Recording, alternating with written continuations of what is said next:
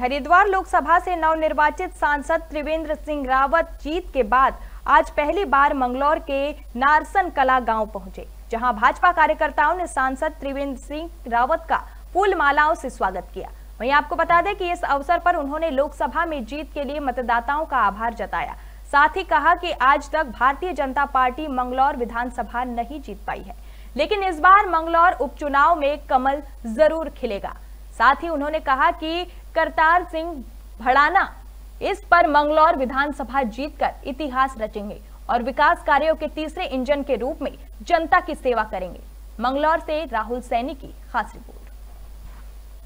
देखो, पहले तो हम सब कार्यकर्ताओं को और यहाँ की जनता का धन्यवाद करेंगे कि उन्होंने लोकसभा के लिए यहाँ से मुझे अपना सांसद बनाने के लिए वोट डाला है।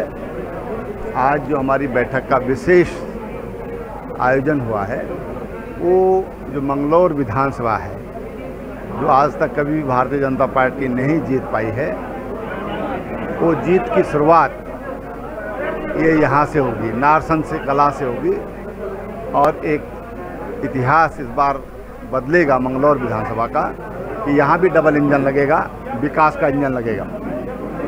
ना हाजी जीतने वाला है, ना काजी जीतने वाला है। इस बार यहाँ से भारतीय जनता पार्टी के जो प्रत्याशी हैं, करतार सिंह जी, इस बार करतार कमाल करेगा